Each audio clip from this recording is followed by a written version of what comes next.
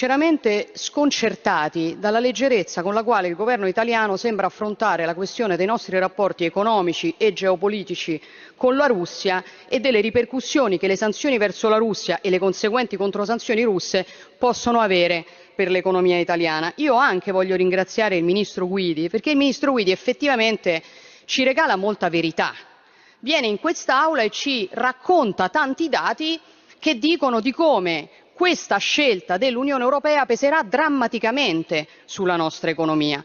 La ringrazio per questa sincerità che però dobbiamo dirci peggiora la posizione del governo italiano. Lei ci dice, ministro Guidi, giustamente, che si stima una perdita per il nostro settore dell'agroalimentare di circa 100 milioni di euro da qui alla fine dell'anno, parliamo di 100 milioni di euro in quattro mesi, I, eh, eh, gli operatori del settore danno una stima che è doppia, poi ci sono le perdite eh, nel settore della difesa, poi c'è tutto il tema della, del, de, dei rischi indiretti, del danno indiretto che noi corriamo, perché è stato già ricordato il rischio che i prodotti europei invenduti in qualche maniera finiscano per invadere il mercato europeo è un rischio estremamente alto, perché noi rischiamo di perdere quote di mercato a favore di nazioni esterne all'Unione Europea e francamente io la ringrazio per averci dato la disponibilità a impedire che questo accada, ma non ci è molto chiaro come l'Italia e l'Unione Europea intendano impedire che, che so, il Brasile e l'Argentina vada, vadano a vendere i propri prodotti in Russia. Non so se avete in mente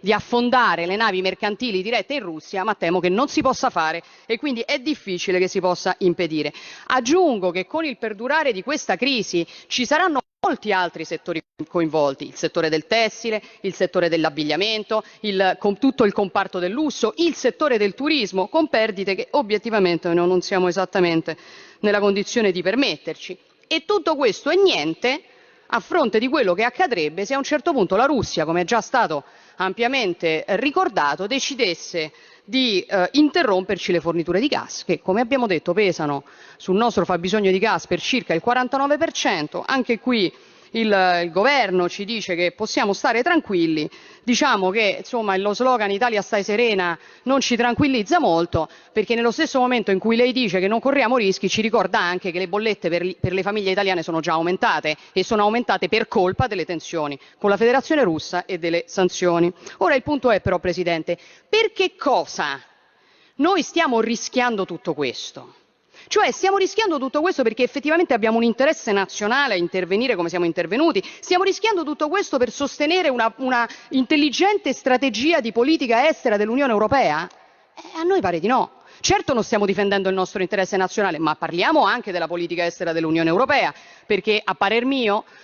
se l'Unione Europea avesse una politica estera, se l'Unione Europea non si limitasse semplicemente a eseguire gli ordini del meritatissimo premio Nobel per la pace Barack Obama, allora l'Unione Europea saprebbe che non ha alcun senso oggi forzare l'ingresso dell'Ucraina nell'Unione Europea e nella Nato, portando inevitabilmente avanti una crisi con,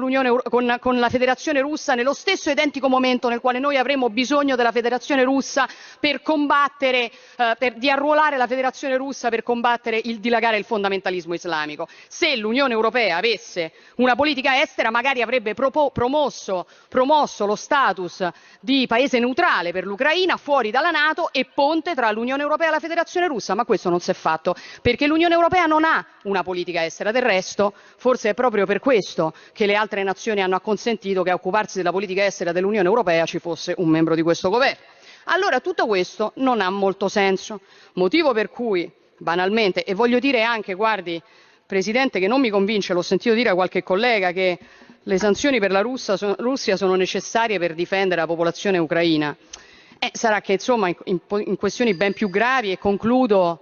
l'Occidente è ampiamente rimasto a guardare, qualcosa mi fa pensare per intenderci che rimarrà a guardare anche quando la reazione cinese verso gli studenti di Hong Kong dovesse diventare violenta, ma questa è altra storia e ne parleremo. Allora molto semplicemente la nostra posizione è l'Italia ritiri immediatamente il proprio sostegno alle sanzioni contro la Russia. Abbiamo presentato una mozione, vedremo come voteranno i colleghi quando questa mozione arriverà in Parlamento, l'Italia si faccia piuttosto promotrice di una eh, eh